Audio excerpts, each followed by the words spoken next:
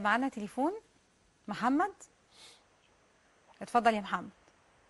أهلا بيك يا محمد سامعينك اتفضل.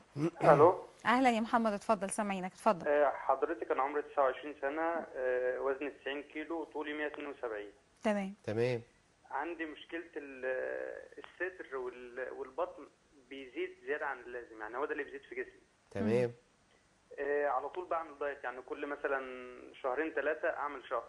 بس آه. بعمل دايت مع نفسي مش مع دكتور. والدايت بتاعي بيبقى عبارة عن مثلا ثلاث معالق فول في اليوم آه. مع رغيف عيش أو بيضة مم. و- ورغيف عيش. وبالليل ممكن ثمره فاكهة وعلبه زبادي. طب يعني ده كويس.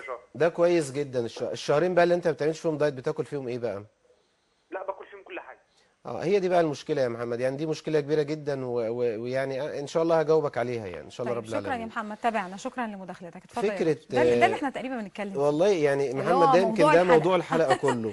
فكرة ناكل ان أنا ناكل وفجأة بالظبط. نعمل دايت قاسي. فكرة إن أنا يعني أحرم نفسي شهر. ويعني هو حتى قايل دايت آه، يعني شديد الانخفاض في السعرات. مفيش حاجة اسمها ثلاث معالق فول و آه، فكرة ال maintenance ال- أو أو إن أنا أحافظ على وزني هي فكرة برنامج الدايت الناجح. برنامج الدايت الناجح هو إن أنا أتعلم سلوكيات في التغذية صح.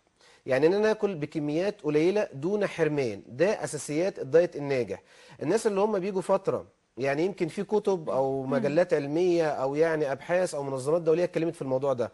اللي هي فترة إن أنا أبعد عن الأكل تماما وأرجع اللي أنا متعود عليه. إحنا بنقول دايما يا جماعة اللي عايز يخس ويحافظ على وزنه ينظم أكله ما يحرمش نفسه ويبقى ده أسلوب بالظبط. غذائي يعني محترم يمشي عليه طول الوقت.